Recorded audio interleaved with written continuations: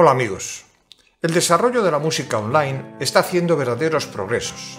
Hacer por tanto un vídeo suficientemente atractivo envolviendo la música es algo importante. Los vídeos profesionales requieren de herramientas y técnicas especializadas, no disponibles para la inmensa mayoría de las personas que graban música en casa y que participan en grabaciones online. Una grabación online, como ya he comentado en varios tutoriales anteriores, consta de tres partes fundamentales. El audio, el vídeo y el montaje. El audio es el que recoge diversas pistas con grabaciones importadas de los instrumentos y voces y de acuerdo con especificaciones concretas, al objeto de sincronizar a la perfección todas las pistas y poder realizar una masterización completa y lo más perfecta posible.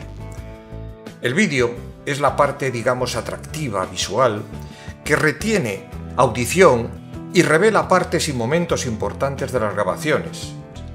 En este tutorial os cuento mi experiencia y evolución en la realización de vídeos musicales online, mediante herramientas al alcance de cualquier no profesional y en el que veremos las ventajas y dificultades principales.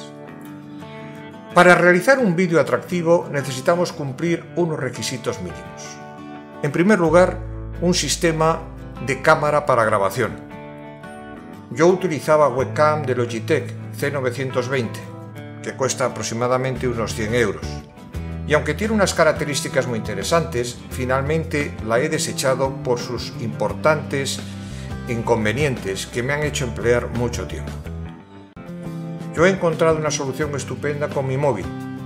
Este tiene una resolución mucho más alta y aunque no voy a emplearla, es más que suficiente para las herramientas de vídeo de las que hablaremos a continuación empleando Full HD. Aunque para mí la mayor ventaja de la grabación de vídeo con el móvil es la inexistencia de desfase entre el vídeo y el audio del móvil, lo cual proporciona una enorme ventaja. Cualquier vídeo realizado con un móvil aceptable, Ultra UHD, es prácticamente perfecto. Otro requisito son las herramientas de vídeo. Muchas vueltas he dado para decantarme por una herramienta en la que pueda confiar y donde se puedan generar vídeos de cierta calidad. Hacer mezclas, efectuar movimientos de las imágenes, crear efectos, etcétera, etcétera. Finalmente me he decantado por Sony Vegas Pro. Las tenéis disponibles en la web de Sony Vegas, en Amazon y otros vendedores online. Y vamos con la tercera parte, el montaje.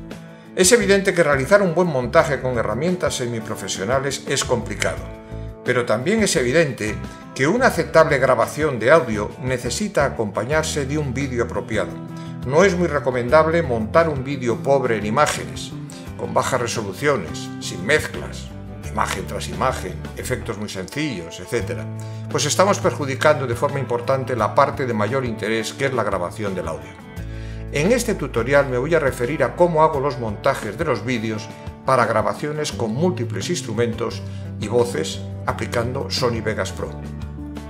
En primer lugar, es necesario que así como cada participante envía una o varias grabaciones de alta calidad, .wav, para reflejar su parte, por ejemplo, en batería he tenido hasta 8 tracks en función de los micros empleados, etc., envíe también un vídeo este vídeo suele hacerse normalmente a posteriori, empleando como backing track el audio que sirvió de base para las grabaciones del audio, y este backing track debe ser audible.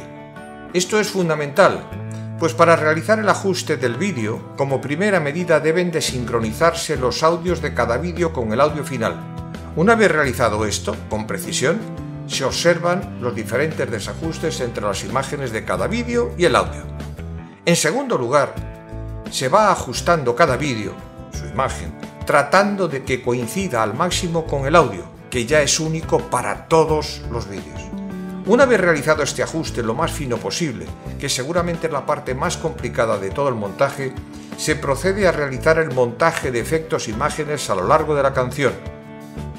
Abriendo un paréntesis, quiero indicar la complejidad de algunos ajustes. No es lo mismo ajustar la imagen de voz con el audio que ajustar la imagen de batería, bombo, caja, plato, timbales, etc., que resulta a veces muy complicado, pero puede conseguirse.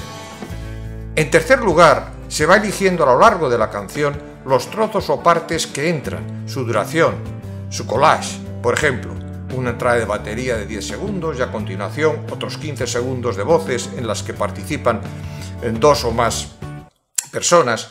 En este último caso hay que centrar las imágenes, separarlas, crear efectos correspondientes para que aparezcan cantando simultáneamente, etc. Esta parte es algo tediosa y depende de la práctica y cómo se quiere hacer de vistoso. Por ejemplo, un solo de guitarra acercando la imagen de la guitarra, etc.